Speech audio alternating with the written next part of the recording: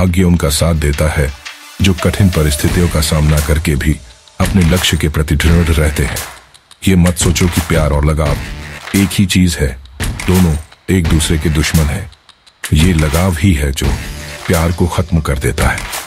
कोई भी शिक्षक कभी साधारण नहीं होता, प्रलय और निर्माण उसकी गोद में पलते हैं। यदि आप प्रयास करने के बाद भी असफल हो जाए तो भी उस व्यक्ति से हर हाल में बेहतर होंगे। जिसको बिना किसी प्रयास की सफलता मिल गई हो। डर को नज़दीक ना आने दो।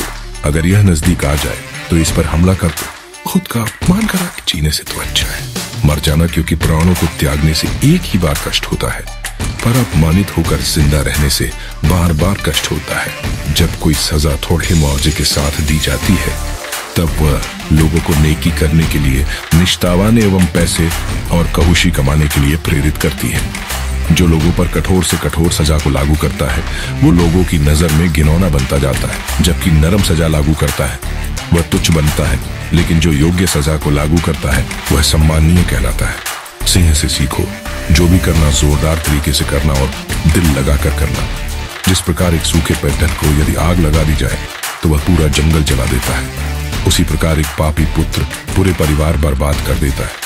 वह जो भलाई को लोगों के दिलों में सभी के लिए विकसित करता चला जाता है, वह आसानी से अपने लक्ष्य प्राप्ति के एक एक कदम आगे बढ़ता चला जाता है। भगवान मूर्तियों में नहीं है। आपकी अनुभूति ही आपका ईश्वर है और आपकी आत्मा ही आपका मंदिर है। उदारता, प्रेमदायक भाषा, हिम्मत और अच्छा चरित्र कभी प्राप्त नहीं किया जा सकता। ये सारे जन्मजात गुण ही होते हैं। जो गुजर गया उसकी चिंता नहीं करनी चाहिए, ना ही भविष्य के बारे में चिंतित होना चाहिए।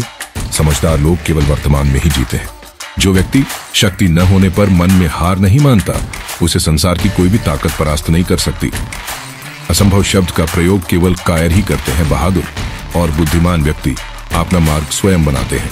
एक समझदार आदमी को सारस की तरह होश से काम लेना चाहिए, और जगह, वक्त, और अपनी योग्यता को समझते हुए अपने कार्य को सिद्ध करना चाहिए। आग सिर में स्थापित करने पर भी जलाती है।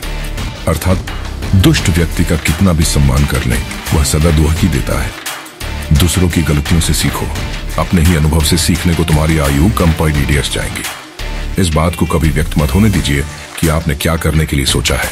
बुद्धिमानी से इसे रहस्य बनाए रखिए और इस काम को करने के लिए दृढ़ रहिए। हर एक दोस्ती के पीछे अपना खुद का स्वार्थ छिपा होता है। स्वार्थ के बिना कभी कोई दोस्ती नहीं होती, ये एक कटु सत्य है।